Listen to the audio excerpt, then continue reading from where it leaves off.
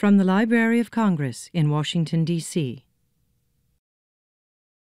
Good evening. Welcome. I'm Ron Charles, editor of Book World at the Washington Post, which is a charter sponsor of this National Book Festival. We're so glad you're here. It is a great pleasure for me to introduce Washington's own Maureen Corrigan. She's the author of a memoir called Leave Me Alone, I'm Reading but we've never been able to leave her alone. She's one of the most trusted and adored reviewers in the country. We know her, of course, as the book critic on Fresh Air and from her frequent reviews of mysteries and thrillers for the Washington Post and other publications. Maureen has a PhD from the University of Pennsylvania, and she's a lecturer at the English department at Georgetown University. And earlier this year, she published a book called So We Read On How the Great Gatsby Came to Be and Why It Endures.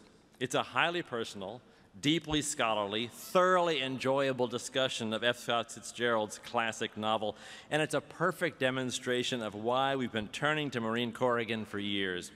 She knows that literary criticism doesn't have to be dull, and that in the end, what matters is that we love to read.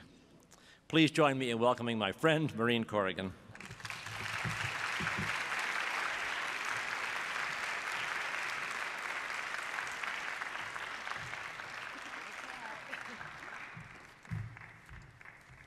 Thank you, Ron, and thank you everyone for sticking around for my presentation. I'm, I'm really thrilled to see so many people here. I'm also thrilled to be an author this time around. Usually I'm, I'm in the position of introducing the wonderful authors um, that, who come to this festival or interviewing them. So it's, it's kind, of, kind of a kick to be on this side of the microphone and to be talking about my book about Fitzgerald, who I love. Okay, so how many people read The Great Gatsby in high school. Yeah. Every year when I start my new courses at Georgetown, especially if I have first year students, I say, all right, how many of you read uh, to, to Kill a Mockingbird? How many of you have read Invisible Man? How many of you have read Moby Dick? Hands go up, maybe a few for Moby Dick, but for the other books, a lot of hands go up. When I say, how many of you have already read The Great Gatsby? Everybody's hand goes up. If you've gone to high school in America, Gatsby is the novel that unites us. It's the novel that we all have in common. I read it in high school, and I thought, eh, what's the big deal? I was, I was unmoved. I was one of those students. But then I went on to college, to grad school. I had to teach Gatsby. I'd say at this point, I've probably read The Great Gatsby about 70 times and counting. I've crossed the country lecturing about Gatsby for the National Endowment for the Arts. I've gone to see Gatz twice, the amazing seven and a half hour production um, in which the Elevator Repair Service Theater Company performs Gatsby, the entire text, in one night. I'm crazy about Gatsby. I do think that it's our greatest American novel. I think it's also our greatest un American novel. It's such a slippery novel about yearning and meritocracy um, and about, about the American dream. What happened to me as a former high school idiot is what happened to America in a large way in the 1940s and 50s. And what I mean by that is when The Great Gatsby first came out in 1925, it, it, its sales were disappointing. Fitzgerald, this was Fitzgerald's third novel. He thought it was going to be the most successful to date of his novels. And it turned out it sold maybe 22,000 copies. At the time of Fitzgerald's death in 1940, at the age of 44, when he died in Hollywood, Remaindered copies of the second printing of The Great Gatsby were still moldering away in Scribner's warehouse. Fitzgerald's last royalty check was for $13.13. He died firmly believing that he was a failure. But in the 19, late 1940s into the 50s, something began to happen. And America took a second look at Gatsby, as I did, and realized that there was something great about this novel. In an ordinary year, Gatsby sells about 500,000 copies. That's, that's a low estimate because we're not counting ebooks and you know, sales of, of um, used paperbacks, that kind of thing. The, a couple of years ago, when the Baz Luhrmann horrible film of Gatsby came out, uh, that number tripled. Gatsby has colonized the world. I know people who teach English in China, in Russia. Gatsby is the novel they teach to talk about America and the American dream. One of the reasons I wanted to write my book was to find out how did this happen? How did this novel that was virtually out of print upon Fitzgerald's death, how did it come roaring back in such a big way relatively quickly after he died? How did that happen? I wanted to find out what Fitzgerald thought he was doing in writing it, because Fitzgerald knew he had written something great, and it broke his heart that people, you know, people didn't respond to the novel when it first came out in any kind of big way.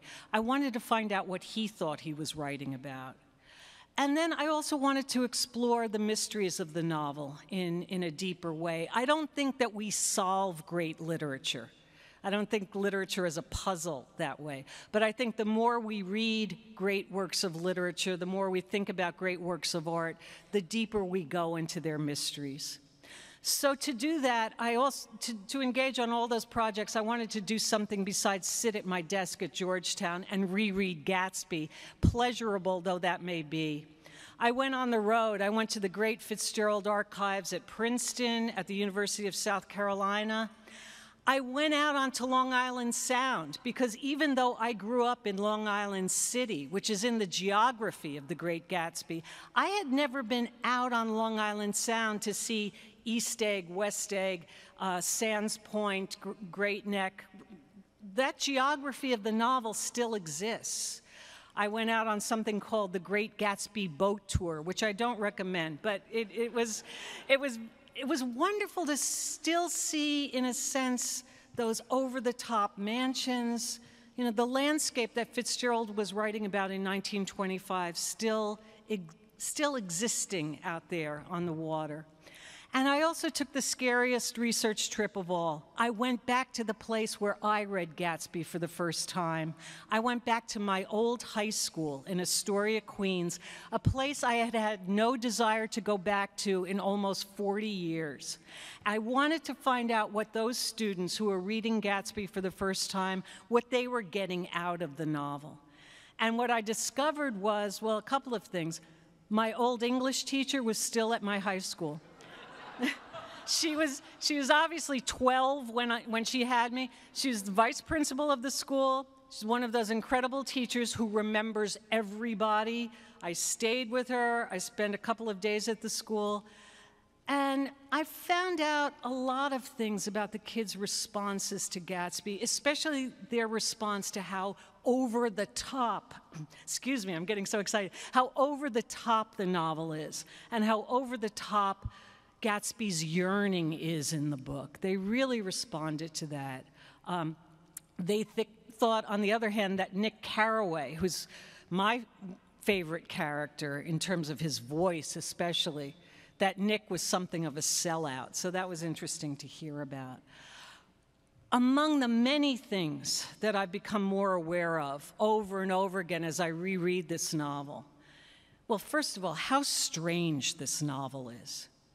When Fitzgerald was working on Gatsby, he wrote a letter to his editor, the great Maxwell Perkins, about whom a new movie has just come out, right? Um, in which Colin Firth, Be Still My Heart, plays Maxwell Perkins.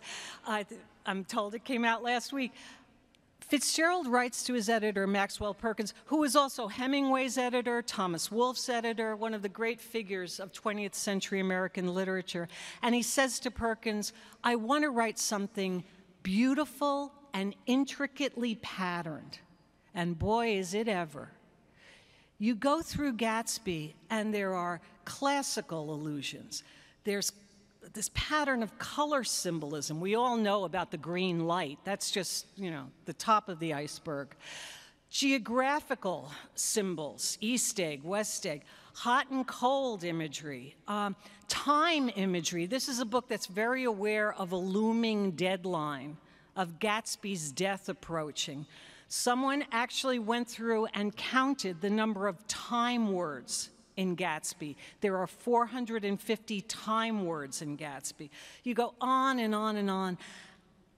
And yet, when you read the novel, it reads so smoothly. You can almost be unaware of all of this intense patterning. The fact that every chapter is arranged around a party, beginning with the dinner party at the, Buch at the Buchanan House in chapter one, to that failed party of Gatsby's funeral in the final chapter. I mean, it's so intensely patterned, and yet it reads so beautifully, so smoothly. You can be unaware of all of these symbols. One of the symbols that I've become more and more aware of as I've reread the novel is the water imagery. This is our great American novel about class. Almost every other one of our great American novels foregrounds the great American subject of race in America. Gatsby foregrounds class, and one of the ways in which it does that is to talk about the terror of going under in America, of losing your footing, of drowning. I'd like to just read you a couple of sentences from my book where I talk about this imagery of drowning because it's so crucial to Gatsby um, and yet it's a symbol that I think we overlook when we're looking for the eyes of Dr. T.J. Eckleburg and the green light, all of that stuff, which is also important, right? The great theme running throughout all of Fitzgerald's writing and his life is the nobility of the effort to keep one's head above water despite the almost inevitable certainty of drowning. While the name of the hero in Fitzgerald's last completed novel has always struck me as comic book silly, Dick Diver bluntly spells out what Fitzgerald's work is all about. His best characters dive into life with abandon and then must fight to stay afloat by the end of their stories. They're almost always going under, if not altogether sunk, weighted down by money worries, overwhelming desire, the burden of their pasts. Sink or swim, it's the founding dare of America, this meritocracy where everyone is theoretically free to jump in and test the water. The fear is, however, that if you don't make it, you'll vanish beneath the waves. So much of American literature is saturated with images of drowning, dissolving, being absorbed by the vastness of the landscape, it's our great national literary nightmare. Need I do more to start off the great books parlor game than to mention Moby Dick? Think about it water, water everywhere. We spend so much time on our initial high school forays into Gatsby focusing on those other symbols, especially the green light, that we overlook the most pervasive symbol of all water. Every page of the novel references water. If you can find a page in The Great Gatsby that doesn't reference water, send me an email to Georgetown tonight. I've gone through it. I guarantee you, you can't do it. Every page is about water. The novel opens, in a sense, with Gatsby's story of being pulled out of the waters of what is it, Lake Michigan, onto Dan Cody's yacht. And it ends that final image of Gatsby where he is floating dead in his swimming pool.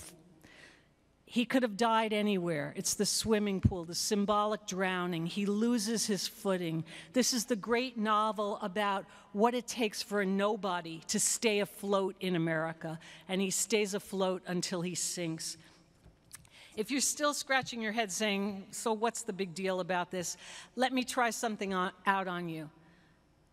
Daisy and Gatsby are reunited in chapter five, which is the dead center of the novel. That's roughly 180 pages.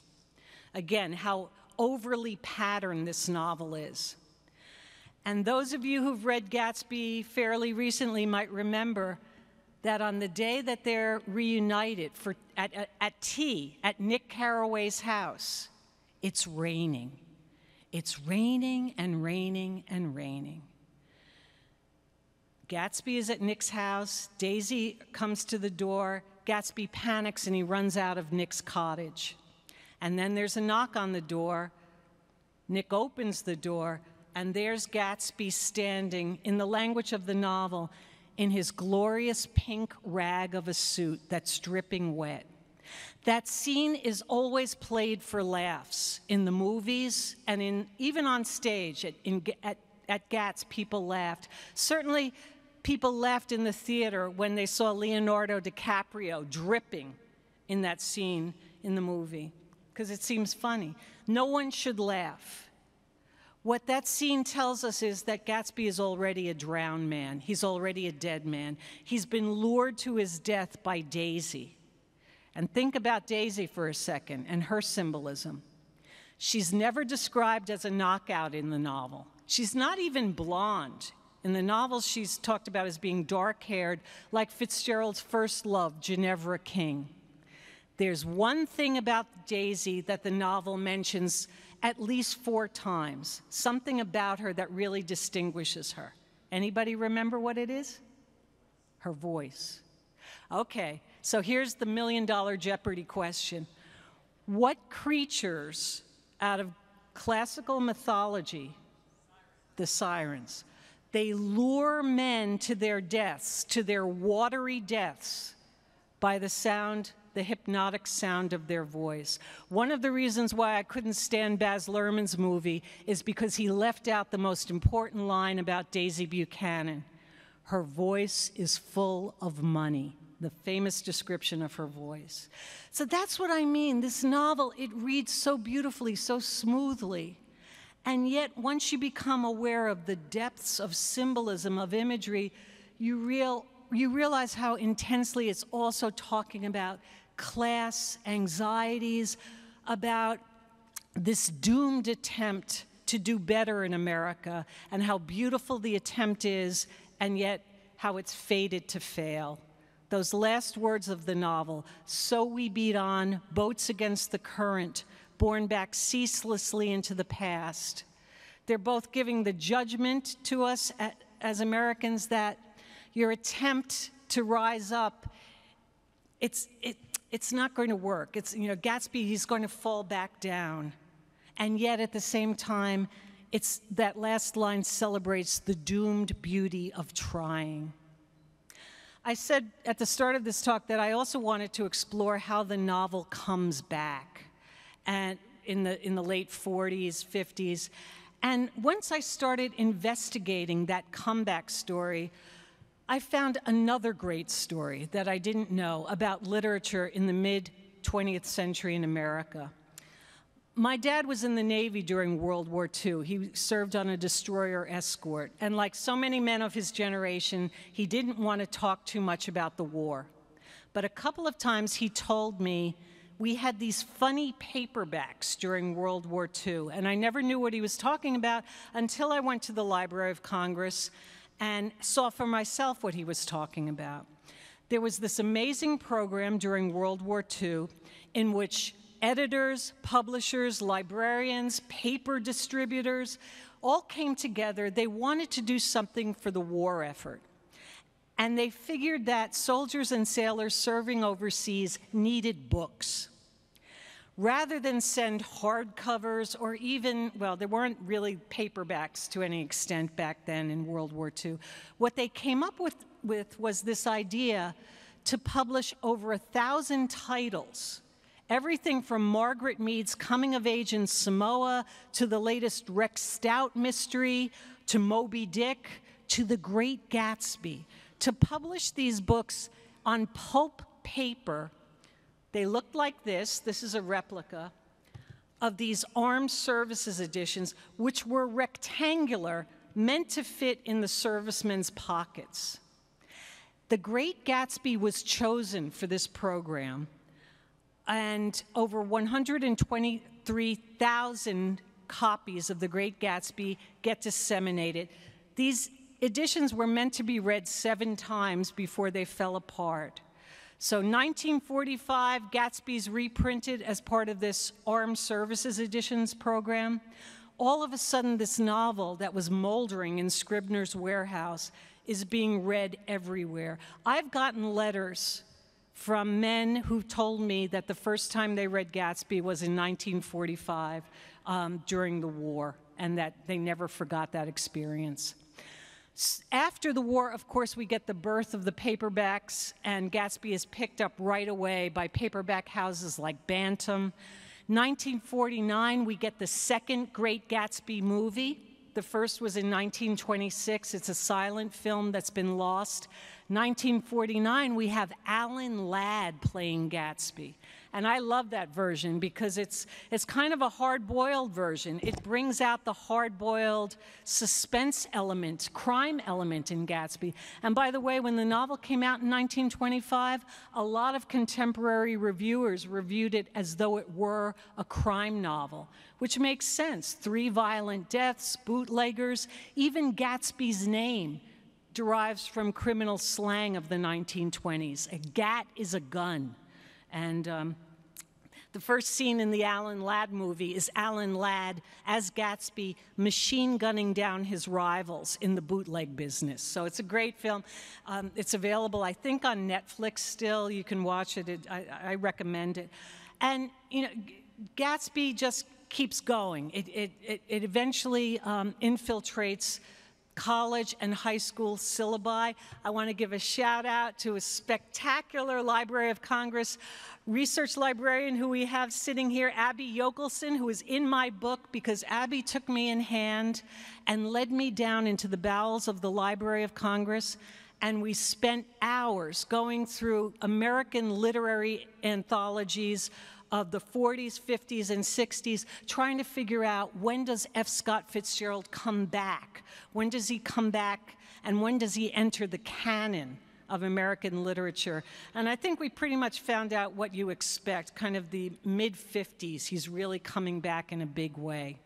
So that was another wonderful research adventure that I had at our very own Library of Congress, which also, by the way, has the only complete collection of the Armed Services editions in the world.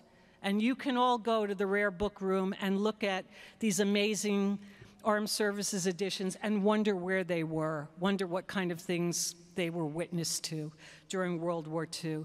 Fitzgerald, of course, saw none of this. He was dead uh, by 1940, and he died thinking he was a failure which to me is heartbreaking.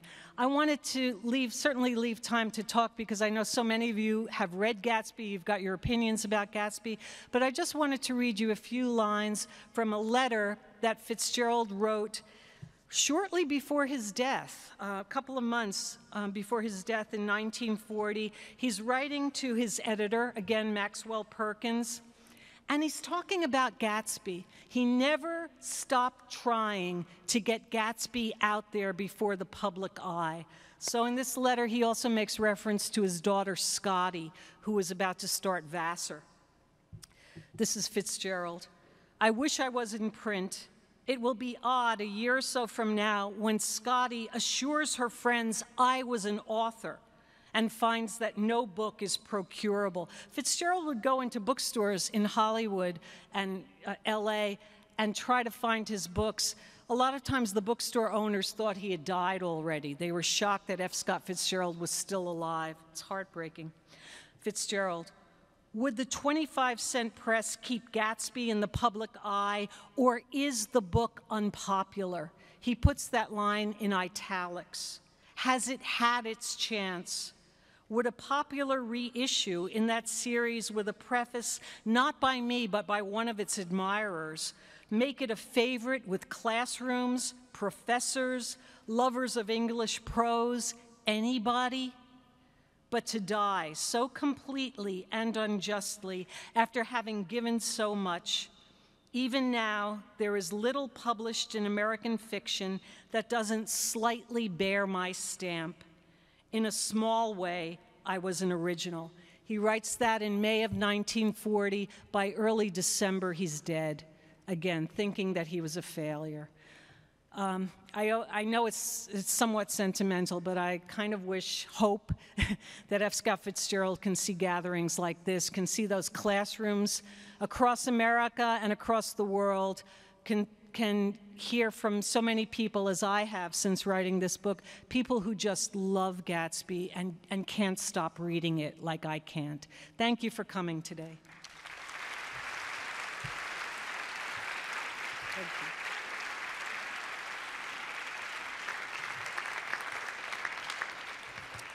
I think we have mics set up for people who um, want to ask questions or get in on the discussion.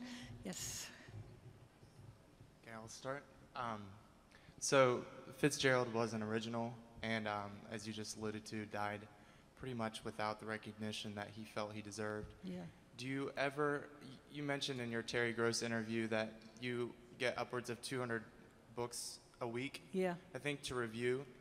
Um, do you ever wonder or worry that there's a Fitzgerald among us who's gonna yeah. have the same fate? and if so, would you like to uh, name drop any of those? Oh, wow. Um, well, I do worry. I worry about myself as a reviewer, that I'm passing over books that maybe I'll start and somehow they don't grab me that actually if I stuck with these first novels a little longer, you know, past 50 pages, maybe they actually would come alive in some way.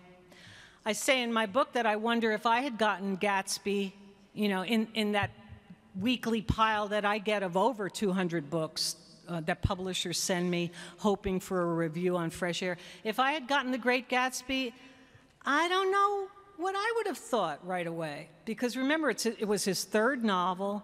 He's known for writing about flappers and philosophers of the 20s. Fitzgerald never liked the title. He thought the title was dull. And I, you know, I could see that, The Great Gatsby. The cover, you know, the original Francisco Cugat cover with the flapper's face, probably the most famous book jacket cover in American literature. I'd look at that and think, oh, another novel about flappers? I don't know. I think, though, if I had opened the book and began reading, it's Nick's voice. This is a voice driven novel. I think Nick's voice would have pulled me in. So I don't know if we're, um, you know, obviously, if we're overlooking people, I'm not able to name them. But, but what, I, what I do believe on, very sincerely is that eventually if a book is good enough, it finds its, it finds its readership. This book did, you know, and it was dead in 1940. I, I do believe that that happens. It may not happen in an author's lifetime. That's the catch. and, and, and we have so many stories. I mean, Fitzgerald isn't the only one. Emily Dickinson, Herman Melville, people who die thinking they don't have their audience, and then the audience finds them after death. At the F. Scott Fitzgerald Conference up in Rockville about Yeah. four years ago, Yeah. in your keynote address, you concluded appropriately that at the end of Gatsby, it leaves so many questions unanswered. Yeah. Could you uh, talk about that again here, please? Yeah, well, I, it, it's those last lines, right? It's those famous last lines of Gatsby. You know, if you go up to Rockville, as I'm sure many of you have, Scott and Zelda are buried in St. Mary's Churchyard in Rockville. There's a whole story connected with that. That wasn't their first, his first burial place. But it's a beautiful spot, and on the slab that covers their grave, there's the last lines of The Great Gatsby. Nobody, nobody can say for sure what those last lines mean. So we beat on, boats against the current borne back ceaselessly into the past. I mean, it sounds like a, a depressing, negative verdict on the attempt to go forward. You know, remember the first time you see Gatsby in the novel, he's stretching out his arms to the green light at the, across the bay to Daisy's dock. Beat on, stretch, stretch farther, you know, reach out your arms. The novel seems to celebrate all of that effort of yearning and trying, and yet the last words say, you can't escape your past, you're going to be pulled back. And yet the whole thrust of the novel is to celebrate Gatsby. And that's what Nick is doing. Nick is so haunted by the yearning, by the achievement, by the aspiration of Gatsby. That's what Fitzgerald said this novel was about. He writes to a couple of his correspondents that the novel is about aspiration. And, it, and the novel seems to celebrate aspiration. So I always think the novel has it both ways. It celebrates that heroic attempt to be better, to be more, and it also tells us that the game is somewhat rigged. That, you know, to believe that you can really be anything in America, well, you've got to qualify that American dream. You know, it, it depends, I think the novel says. Certainly Fitzgerald felt that, I think, in his own life. He rose so high and then he fell very quickly. I wanted to uh, get your views about what was there any particular critic or writing or essays that drove mm. the re the re recognition? Like Kazin yeah. did that for mm-hmm. Faulkner. Uh, Cahiers de Cinema critics did it for what were B movies that yeah. reawakened yeah. uh, respect for them. Was there a particular set of critics or essays that drove the, and did his friend Wilson drive this? His friend Wilson. I mean, that's what's fascinating and, and, and wonderful about I say the Fitzgerald revival, but but people rightly have said you can't call it a revival because there was never you know there was never a huge celebration in the first place. But that discovery of Fitzgerald again in the 40s and 50s, Alfred Kazin, who you just mentioned, did the first collection of critical essays on Fitzgerald in the early 50s. Um, Lionel Trilling was a huge uh, mover. Edmund Wilson, who had been with Fitzgerald a, a year or so ahead of Fitzgerald at Princeton, and was his friend and probably America's greatest literary critic of the 20th century, certainly in a popular sense. Um, Edmund Wilson worked on the manuscript, the unfinished manuscript of The Loves of the Last Tycoon, brought that out, and also helped drive the quote unquote revival. Dorothy Parker also uh, wrote essays. So you do have these well placed literary figures of the mid 20th century. Maxwell Perkins was a steadfast friend, always trying to get Fitzgerald you know, in print before the public eye.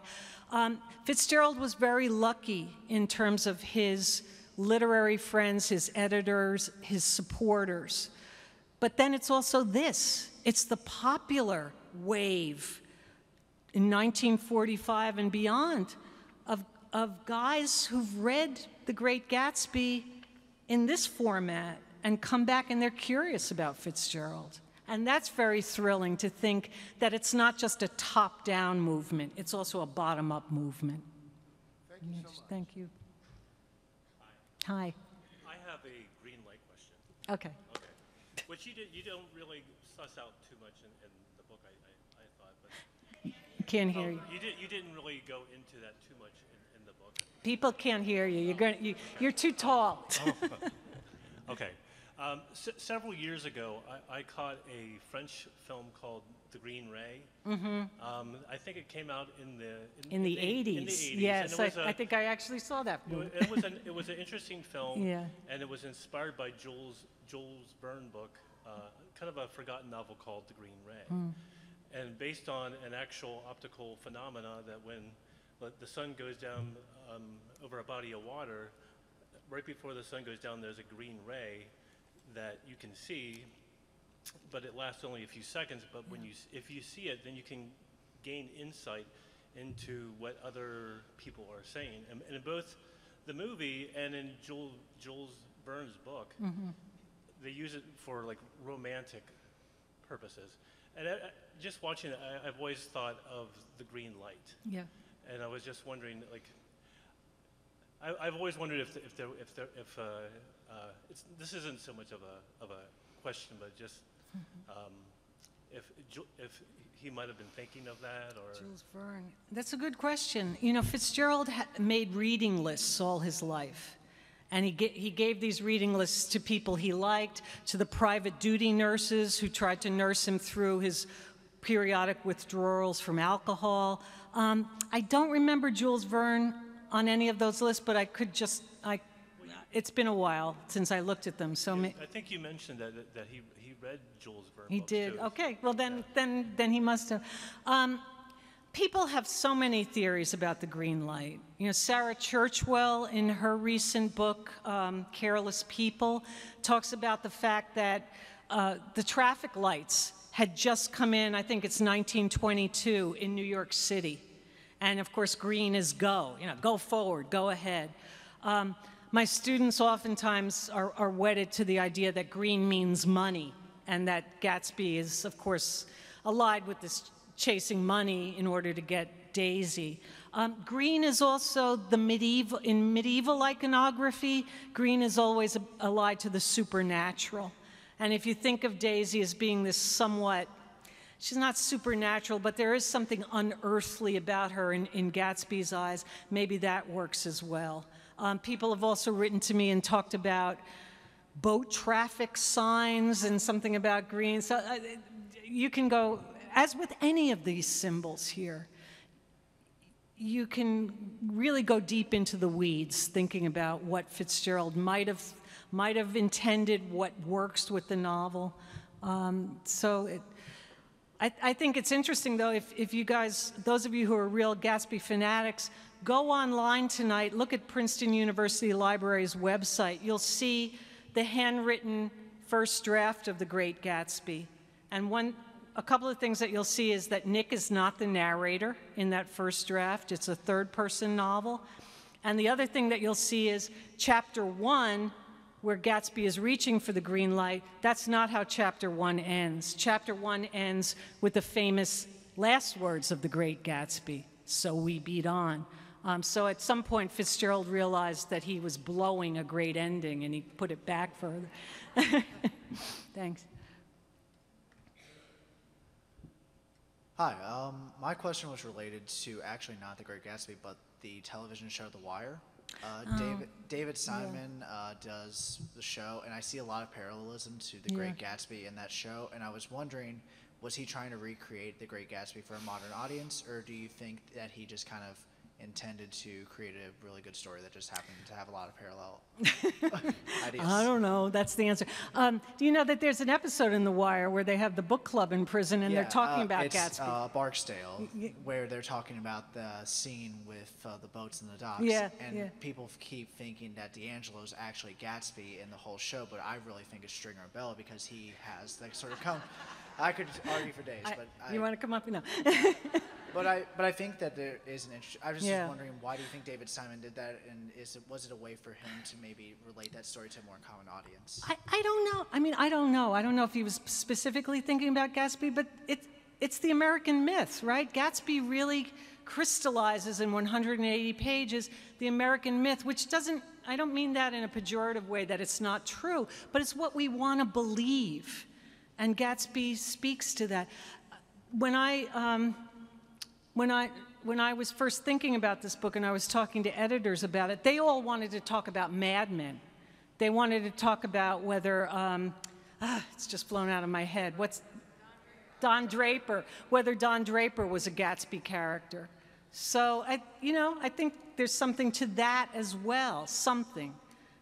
You see Gatsby in, in, in so much of what we read, of what we watch, not even explicitly, but buried under. I, I don't, I don't, I'm not the scholar of The Wire that, that you are, but, uh, but I do know that um, I think I've heard that it was um, Clockers, Ri- Richard. Um, God, it's, it's getting late. I get Richard Price who put in that book club dialogue. So he was thinking of Gatsby.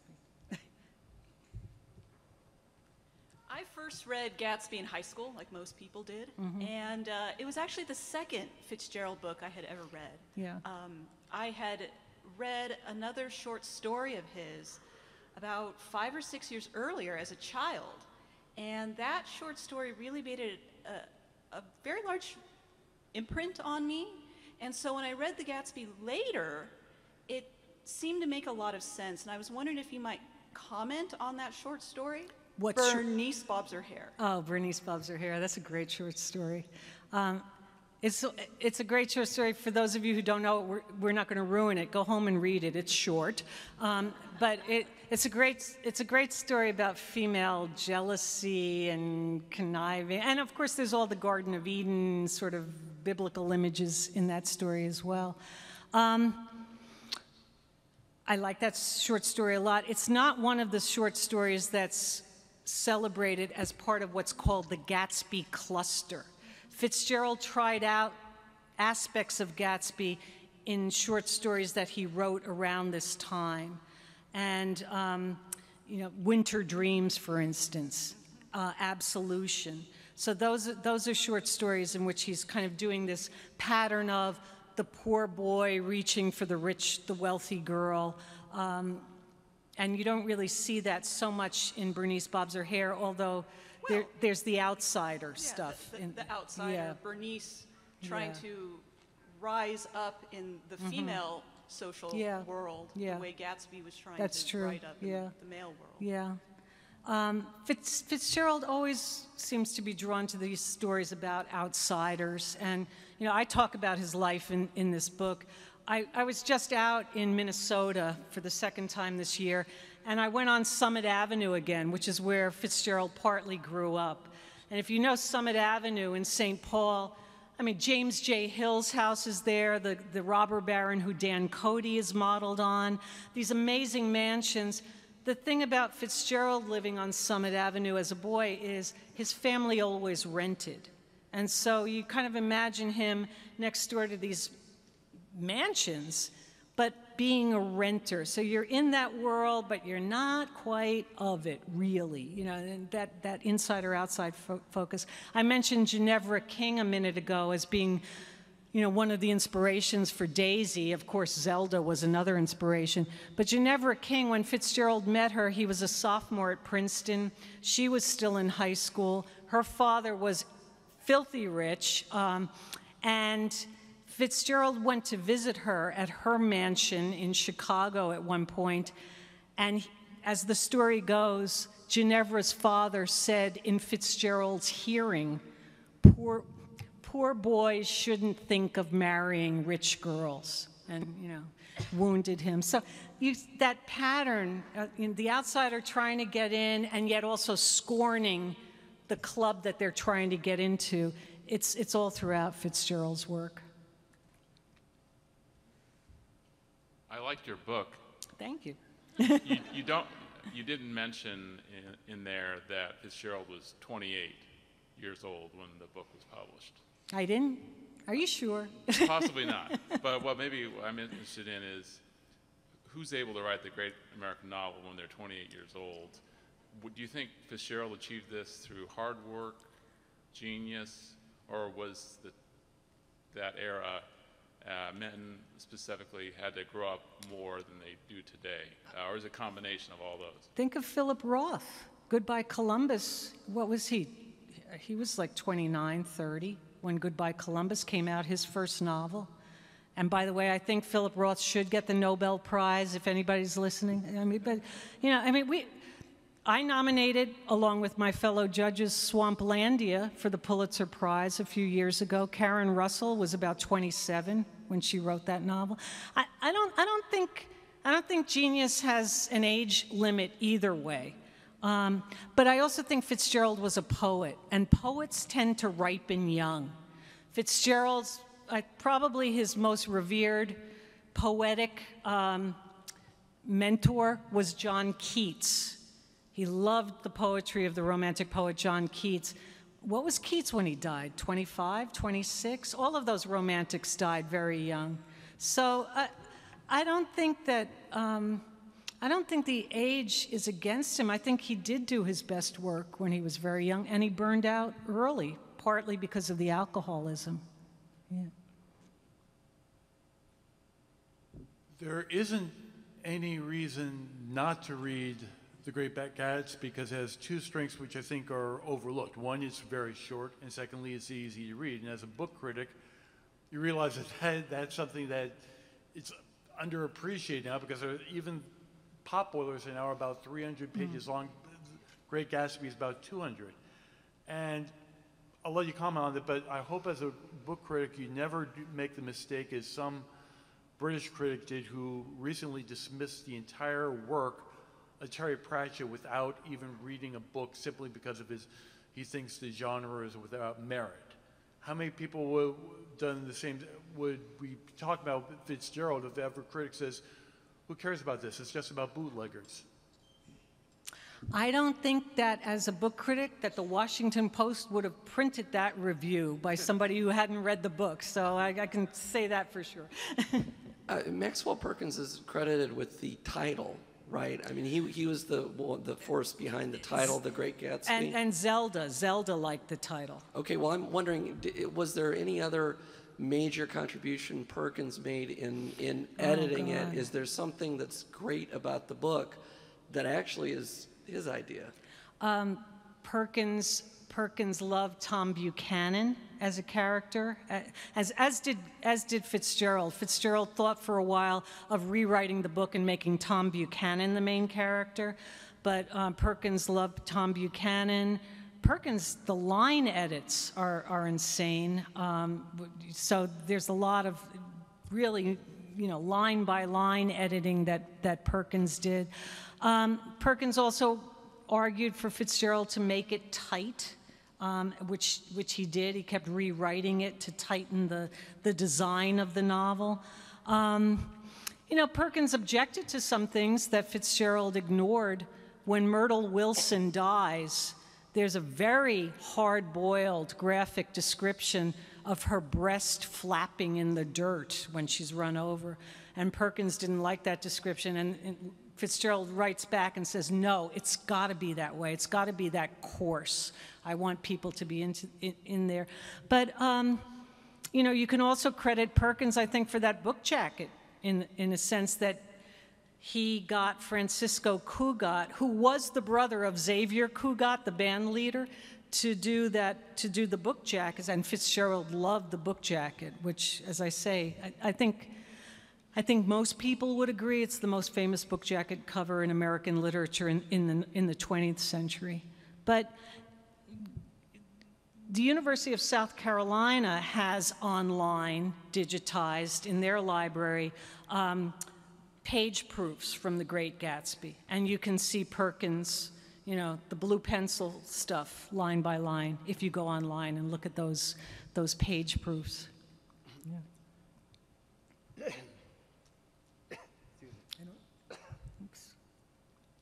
Oh, sorry. Okay. Um, yeah, I'm interested in symbolism um, and how much of it is consciously uh, there uh, from the author, how much of it is subconscious, how much of it is read in by critics and academics. Yeah. For example, the green light. Uh, it's fun to speculate on what that could have symbolized. Did, did anybody ever ask Fitzgerald? Uh, And if they had, why would it matter? yeah.